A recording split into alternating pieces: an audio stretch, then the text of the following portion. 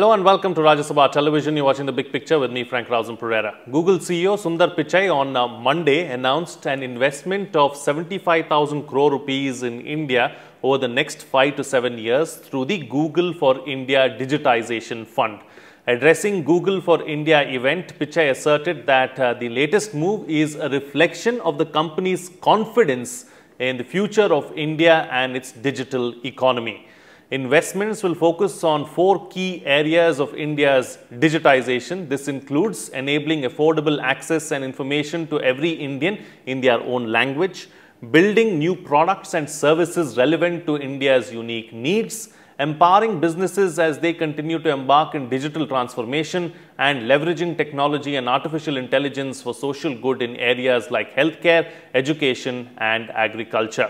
Meanwhile, Reuters quoting sources said Foxconn plans to invest up to $1 billion to expand a factory in southern India where the Taiwanese contract manufacturer assembles Apple iPhones. On this edition of The Big Picture, we will analyze the investment focus in India's digital economy. Joining me on the program today are Arvind Gupta, head and co-founder, Digital India Foundation, Adhil Shetty, co-chair, FinTech Committee, FICCI, and uh, Subimal Bhattacharjee, digital technology expert. Thank you to all my guests for joining me on this edition of The Big Picture. All right, Arvind Gupta, I'd like to begin the program with you first. You know, what is it that is attracting an array of investments really as far as uh, Indian digital economy space and the digital space is concerned?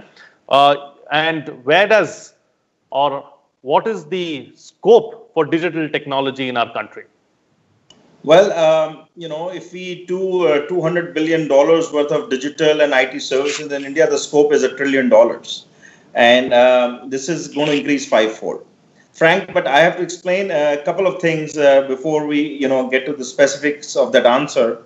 The new age industrial revolution, what is called the fourth industrial revolution, is a data and digital industrial revolution, and uh, India is actually leading from the front uh, leapfrogging into this. We have leapfrogged many, you know, the first two industrial revolutions happened. India was not a free country. The third one, we were a, not a, you know, really a great free economy. Fourth one, we have the right leadership, the right consumers, the right demand, and we are really, you know, building products for India. And in that, some of the numbers speak for themselves, and that this is the reason that you are seeing a lot of investment focus in India in this digital sector. Number one is in the last six years almost, India's uh, internet uh, penetration, the, the users of the internet economy have gone up from approximately 15 crores to 65 crores. And that's that's a that's a 4x, four and a half x increase. More than that, the people who used to spend in the digital world uh, used to be about 10 crore people, give or take. Today, that's moved to 20 crore people. So, people buying things, people selling things, doing actually transactions has increased a lot. And uh, so, the leapfrogging and the scale opportunity that India presents is very huge. And thirdly, the very big thing is that mm, in India, uh, you know, most of the platforms that we have today are, uh, you know, either incubated in free and democratic uh, countries. And I think other democratic countries are seeing a value in this uh, in India as a as a consumer base, as somewhere where they can operate more freely. Um, uh, uh many of our neighbors don't uh, allow a free digital economy, uh, a free digital platforms to really flourish. So India is the next, you know, the the the gold destination for all, all these companies to prosper, both local as well as global companies to prosper. And um, what you're talking about, whether it's uh, Foxconn or Google or many others, uh, there is investment coming in two areas. One is the hard infrastructure, the digital infrastructure, which is you know access, affordable access. India, I must say, and um, has the highest amount of data consumption per person, mobile data consumption per person in the world today, almost 2 GB uh, average a 12 GB average per month per person at, at, the lowest cost, as the lowest cost of data. Nowhere, in, you know, you can get data packs at 100 rupees or 99 rupees a month for, for such a huge amount of data. So, uh, so data affordable access. Two is uh, the the hardware. The affordable hardware also should be there. Very high end affordable hardware, which is where you know, companies like Foxconn and all are manufacturing, planning to manufacture. Samsung already has it. And thirdly is the the destination, the startup ecosystem. Um, and, and, and that's where I think a lot of these investments also are coming in, where you have the pipes, the roads, the, the cars and the drivers. And certainly you need all these drivers and, and the cars need destinations. And that's where the startup ecosystem comes into place. Multiple destinations. We have a fellow panelist who creates such uh, destinations. So, you know, so uh, that's where I think the promise of India's digital economy is. It's a new age economy. It's an economy of the future and uh, I think people are rightly so investing in one of the biggest free economies of the world. Okay, absolutely. All right. So, Adhil, this is where I'd like to bring in, bring you in. Uh, you know, Arvind has very uh, beautifully painted the picture for us about how India is a golden destination for these investments to come in. So, what are some of the new products and services that we can expect in, in the immediate near future and if we look at a five year plan as far as digital economy and the digital ecosystem is concerned? Great question, Frank. Uh, let me take this uh, first from the fintech perspective because I'm on the FICCI fintech committee and also at BankBazaar, we deal very closely with banking and financial services. Um, I think the real opportunity is we have uh, the chance to leapfrog what has happened in a lot of uh, developed market. So, uh, like uh, Arvind just said, uh, 65 crore users, the technology pipeline and the infrastructure is available. We can actually build services which are cutting edge, the latest, and not go through the step by step slow process which maybe other economies have gone through. In banking and financial services, the concept is called contactless. Now, today, everyone knows when you need a financial product, be it a a loan or a mutual fund or an insurance, you think you have to meet someone, you have to sign, you know, 10 papers, you have to give your driver's license, your PAN card, uh, maybe some other document. But imagine if all of this, right, happened on a mobile phone in three minutes uh, and you had that credit card with you, or you had that debit card with you, or you had that insurance with you. So the big concept, right, is contactless. In today, in India, we have the India stack, we have Aadhaar, like Arvind said, so much infrastructure has been built out that we are uniquely positioned to harness this government provided common infra and build services which were unimaginable, right? A few years ago, which is uh, three minute loan dispersal, three minute insurance, three minute mutual fund. Now, the advantage is the following this is not for uh, only the urban elite.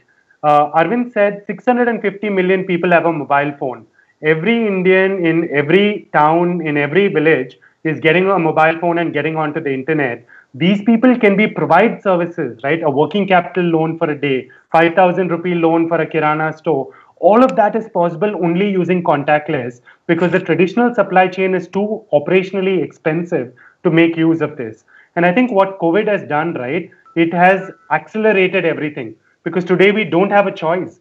I can't send someone to uh, a small town or village traveling is just not feasible, right? So whatever would have taken many years now is going to happen in a few months. I truly believe, right, that this is a leapfrog moment in India and we need to grab it, grab it with uh, open arms. And what I said for fintech, right, is true for education, is true for uh, uh, commerce, is true mm-hmm. for a number of services which we should reimagine for a post COVID product and world. Absolutely. I think, you know, companies and policymakers are already reimagining this and we are moving in that direction. We just have to see how it progresses and where we finally reach. You know, uh, Subimal, this is where I'd like to bring you in now. You know, what is the kind of digital transformation that we have already witnessed? You know, both panelists have spoken about how we've seen, you know, uh, a big leap really as far as the technology is concerned. And what is the kind of transformation do we aspire to see next? Sure, Frank. I think uh, both my fellow panelists have laid uh, the ground realities in terms of what has been the build-up in the last uh, few years. But I would like to say, Frank, that uh, look at the, our readiness today. It's very important. The point of time, the epoch that we are in, uh, it's it's very very crucial to understand why everyone is looking at us, what we have done credibly over all these years, uh, you know, and of course, uh, we are still at uh, about 50% of uh, our internet penetration. So there is still a large market to be addressed, which is being diligently done through the Digital India program. Uh, the ecosystem of uh, making the hardware, the software, and the glues in between work, and then the interface with the consumers that has uh, steadily grown in the country. And, and these are some of the indicators that give the confidence. Now, if you ask today, uh, over all the last two to three decades, the steady growth of the software and services industry, that's one of the biggest confidence building measures that we have demonstrated in the digital technology space all across the world.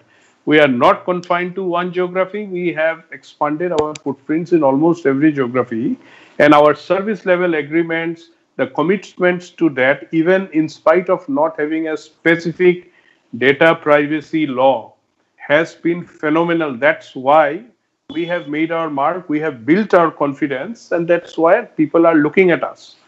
When everyone is now concerned around what goes on in China, and then you know newer markets are being explored at, uh, why we are being thought of very credibly is because of that uh, you know demonstration over all these years about how we look at this space what is the skill set available how we have moved ahead uh, with what is required. And on top of it even if you see the you know the growth of the hardware industry compared to a base and strength around software the last few years particularly in the time of uh, this government that has been phenomenal look at the extent of electronic manufacturing now that is happening in the country uh, lot lots of the mobile handsets are being manufactured in the country. In you right now are at a point where your mobile internet users have also taken over uh, from the you know traditional desktop users and all.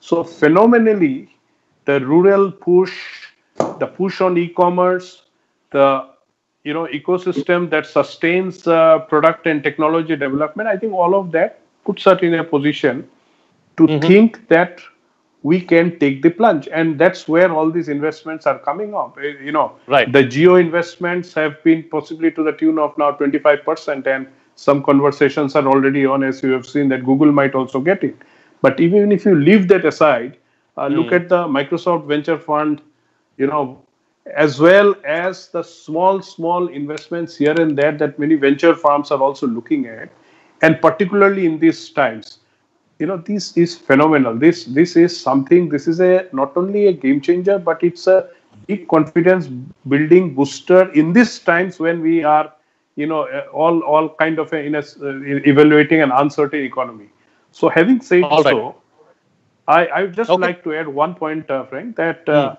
the possibilities around usage of digital technology for the domestic market for the international uh, you know market the possibilities that we see around your work from home, the online education, the uh, telehealth consultations, these are phenomenal areas where we can energize our youth. And as the Prime Minister today in the you know Youth Skill Day has said that we need to skill, reskill, and upscale. I think I think sure. this is nothing more than uh, the or, or the best time that uh, to say that. Okay, all right.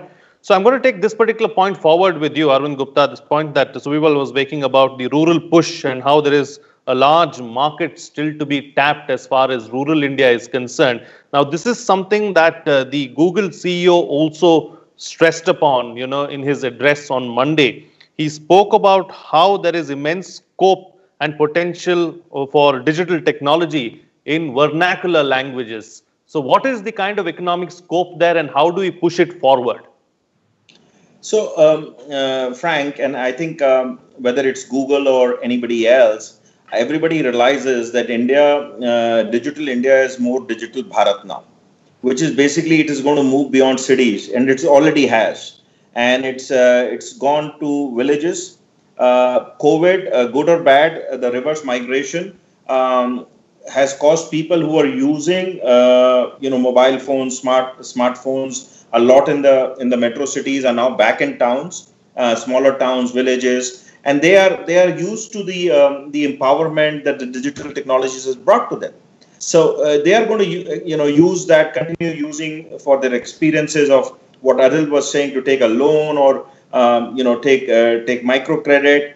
Um, do transactions to buy some clothes online so i think there is a whole new consumer which probably is uh, digitally literate uh, i call it uh, but not you know alphabetically literate and that's where uh, alphabetically literate especially in english so that's where the local languages will come into play and that's going to be a very big factor we have seen the success of this in digital india uh, Subimal mentioned this. When you do digital India, uh, one of the design parameters is it has to be in, in as many languages as possible. Um, you know, UPI supports some 17, 18 languages, uh, which is India's biggest success story as public infrastructure. Uh, what Adhil mentioned, um, Aadhaar, uh, you know, the India stack, all these are available in multiple languages. So there is a certain design principle in India, which is uh, which is unlike the model. So let me, you know, also talk about this. Why everybody is very attracted to India because there is. I've lived and worked in Silicon Valley for many many years and in in in that uh, space i think it's uh, you know what what is uh, very very critical is that the you know india is innovating bottom up our technology solutions can work in towns can also work in small cities can work for everybody the bit mm-hmm. sizing of transactions uh, whether it's education health fintech is really happening in india and it is in this space that uh, i think india has actually genuinely um, done done uh, uh, you know really leapfrogging and uh, innovation at scale.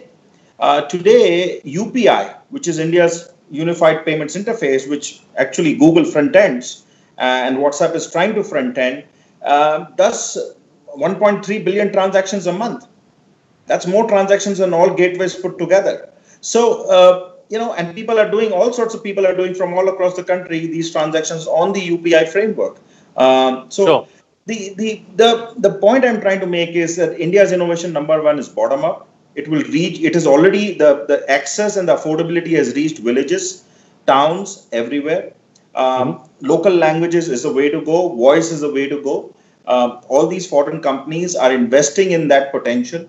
Three, this potential is not limited to India. The Prime Minister has said it multiple times that innovation for the next 6 billion is going to come from India.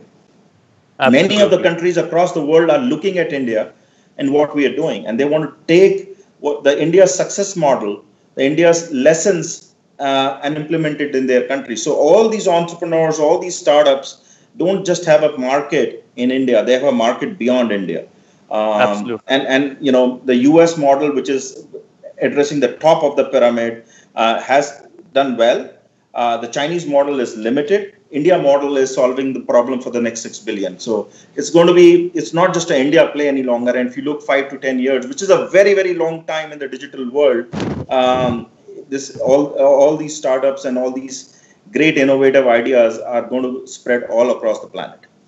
Absolutely. So the time is for the India model, and we are going to see that Absolutely. going forward, at least in the next five to 10 years, is what the panelists are suggesting.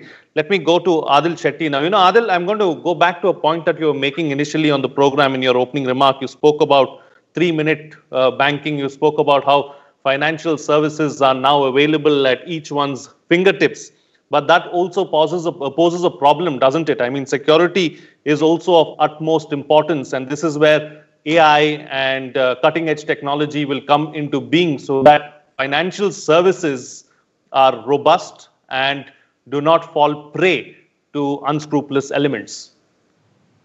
Yeah, absolutely, Frank. I think in today's day and age, right, we're all reading the papers and seeing TV every day. So we know the threats out there. The threats might be within the country, the threats might be from outside the country, but it's a time to be very vigilant. Um, I think there are two ways we can think about it from each company's side, right, I think management needs to realize that information security is critical uh, and it's something that's required by the Information Technology Act. Uh, today, there are world class certifications out there. There's a PCI DSS, there's ISO 27001, ISMS. I think uh, at a management level, right, every company needs to take responsibility to make sure that there are these certifications secured, the data is locked down, set up information security practices. I think today the advantage we have is uh, all the global operators are here. So whether you need really good web conferencing software, whether you need a great firewall, the companies are available. And you know, with uh, the right price point, I think even MSMEs are able to think about information security services. I think Subimal covered it earlier. The data protection law, I think, is also going to be a significant step forward. So today, the framework we have is the Information Technology Act. The data protection law is a significant step forward where it clearly identifies data controller, has responsibility, has consent, scope of use. So I think it'll be really good if in this kind of environment, one company step up, but also the data protection law steps in to set a common law, right, that everyone needs to comply with and has uh, consequences uh, for what needs to be done. So I think that would be a significant step forward, Frank. Absolutely. You know, uh, so Subimal, uh, let me bring you to the picture now. So, what challenges do you foresee, uh, you know, going forward, and what uh, do you do you see any stumbling blocks or any roadblocks in our digital push? No, I think Frank, at this time, uh, as uh, Adhil has just also mentioned, the Data Protection Act is one part, but a whole lot of policy changes uh, and and work is on the anvil in each of them. You know, the e-commerce uh, laws are being looked at. The IT Act itself is being looked at again. The role of intermediaries are being looked at. So all of that, and of course the data protection law. All of that offer a lovely framework where we are updated on all counts. We are we ensure that the best of the and the best of secure uh, possibilities are enabled from a legal point of view. From a technology point of view, the focus on AI, blockchain, and all enabling uh, parameters are being harnessed. And you know, I think Niti Aayog is also doing a very good job in trying to, uh, you know, remain on top with all the line ministries also as far as uh, their involvement is concerned. And most importantly, if you see our consumers and our citizens themselves are becoming far much aware and oriented in terms of what are best and you know secure practices. So I think a, a kind of a mature scenario is emerging where the laws are there, the technology is there, the consumers there. And on top of it, the law enforcement uh, mechanism is also getting uh, alerted and working. If you look at the CERT-In's uh, advisory around uh, the Chinese, uh, you know, phishing attempts and all, that was a very timely uh, act. You know, much different from what you normally do. If if you complain to the cybercrime portal of the Home Ministry, you are given a reference number. Not only that, it is followed up with the respective state polices and everything. So these are all confidential, uh, confidence-building measures but as you say, you know, always challenges remain when you implement many things at a time. And then, of course, the task is very gigantic because, uh, you know, not all good people are always there on the cyberspace talking of good things. A lot of crime syndicates and everyone are working. They always try to remain on top. So we have to be, uh, you know, stringent in terms of dealing with them. So I think we all, since the mandate and uh, the I would say the motivation is very clear, whether it's in the government and of course the industry. Uh, there is no reason, you know, we should think that uh, this would become any kind of a stumbling block in the forward march. Okay, yes, Arun Gupta, you, you had a point to make. Go ahead. But what Subimal is saying is also, and what actually Adhil said, this itself is an opportunity. Cybersecurity today itself, a homegrown cybersecurity solution, um, ensuring uh, citizen safety, uh, preventing attacks, um, is both an employment opportunity as well as a technology opportunity. So I think there is, a, I mean, all, what all of us are saying, what wherever there is a stumbling block, whenever we use the word stumbling block, I look at it as, a, as an opportunity. And I think um, the smart entrepreneurs and startup uh, enthusiasts are actually already solving those problems and um, uh, building more local uh, and uh, uh, solutions. The apps are already coming in place. Yes, absolutely. I think there is, uh, I mean, whichever uh, category you think of, um, whether, and, and, the government actually just does a little bit of things. I mean, we have a startup fund, by the way, a 1.5 billion, 10,000 crore startup fund. We also mm. keep doing all these hackathons as uh, the government keeps doing hackathons. If you see, from a video conferencing solution to now apps in multiple category. So this also gives that initial push and recognition to the startup community, and then they, you know, then they, they know that these are the top 10 top 20 players. So it is uh, the government is working as an enabler as a catalyst but uh, you know in the whole uh, startup community it's the startup enthusiasts and the innovators which are really going to take over. Yes adhil you wanted to make a point. Go ahead. Yeah frank uh, to your point as to what support we need i think you said uh, what do you need or what what is required so uh, uh, see, I think the consumers in India are moving very, very fast. Uh, so at BankBazaar, for example, 50 million consumers, they wanted contactless. Now we are asking for certain regulatory changes to allow us to use the latest technology. So for example, Reserve Bank of India did a fantastic move pre-COVID. January 2020, they introduced video KYC. Very first time, I don't have to come to your house. I do a video on your mobile and you get your loan. It's a brilliant, brilliant policy decision. But we're also asking for central KYC clarification. We're asking for more support on e-KYC, more support on derived KYC. So I think industry is constantly engaging, regulators listening, but having taken care of information security and privacy, I think that we need some support for faster adoption of these latest technologies that Arvind and Subimal have been talking about. So better guidelines and faster implementation is what you're looking at, and that's the, that's what the industry is looking for. All right, Subimal, what's the best way forward? I think you know that dialogue between industry government uh, that has to uh, you know be enhanced. I think uh, investments uh, have to be made in this sector. So uh, I would think you know a lot of the uh, capital that is you know possibly still lying unused can be used in this sector. This is I think the last three months around COVID, this has been the best message that has been coming that, you know, this is a sector that is going to stay. The global investments have, uh, you know, amplified this further. So I think mm. we hmm. all should work as a collective uh, team and effort. Everything will fall in place. Okay, all right. And Arvind Gupta, close the show for us with your concluding remark. See, the digital and data economy is the future, and uh, India is very well placed in this. Um, there is, uh, you know, uh, what Adhil says, what Subimal says. We have been very fast in lawmaking. COVID has accelerated certain amount of policy making. Uh, telemedicine came about in COVID. Uh, the, the legality of telemedicine, teleconsultations, uh, e-pharmacies. Similar uh, agility will keep happening. But one thing you have to understand: um, rules and regulations always lag behind innovation. Innovation is always going to be ahead and that's where the charm of innovation is. Innovators make their own rules and then you know then certain uh, policy uh, decisions are made.